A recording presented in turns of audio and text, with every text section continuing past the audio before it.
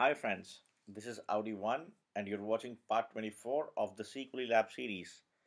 Well, it has been a very long time since I recorded a video, although I had been updating the test bed regularly on GitHub.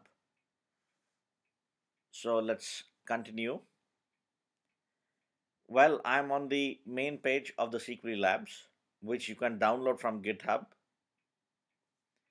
now some pages have been modified. So if you see from the last time, there are two new pages added up. One is specifically dedicated to the SQLi injections, stack based queries, which is generally anonymous or is analogous to the MS SQL or the Windows SQL Server and is not heard about much in uh, MySQL and PHP combination. So there is a specific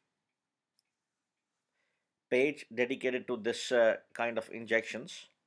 So you get stack based query injections for the string type or the blind based or the post based.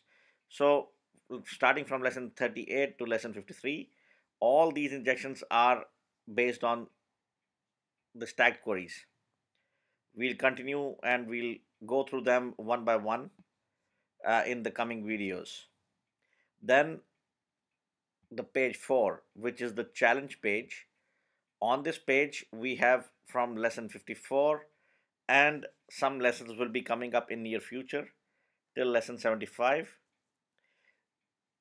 These lessons are actually nothing new but a kind of a challenge or a kind of a practice for all you guys.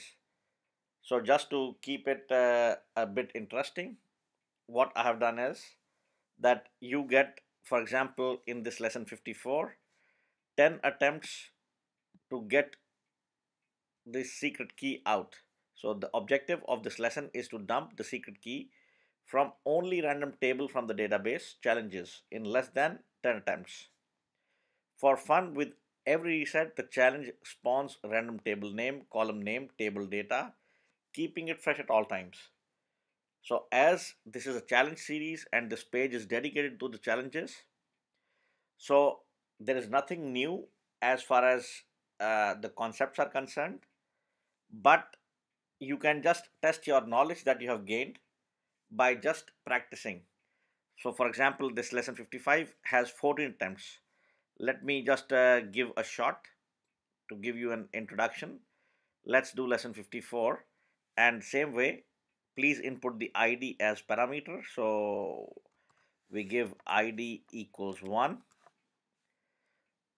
so you see on the screen that I have tried 1 of 10 attempts.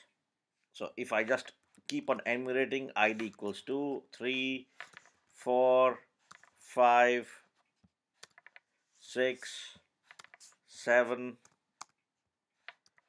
8 9 so it's actually a race against the amount of enumeration you do and how you get out the secret key from the challenge database. And mind it, the table name gets changed every time you reset the challenge or it resets by itself. Same way the column name changes and the data within the tables changes. So now I'm done with my 10 attempts. If I try one more time, the challenge will reset automatically, saying that I have exceeded and it resets. Thereby, all the efforts that you have done so far go waste. A kind of just an interesting thing that I wanted to add up. This is all for this video. So hopefully you'll um, I'll be making some more videos and be more active dedicating some more amount of time to make uh, these kind of videos. Uh, please uh, leave your feedback for the encouragement. Thank you very much and have a nice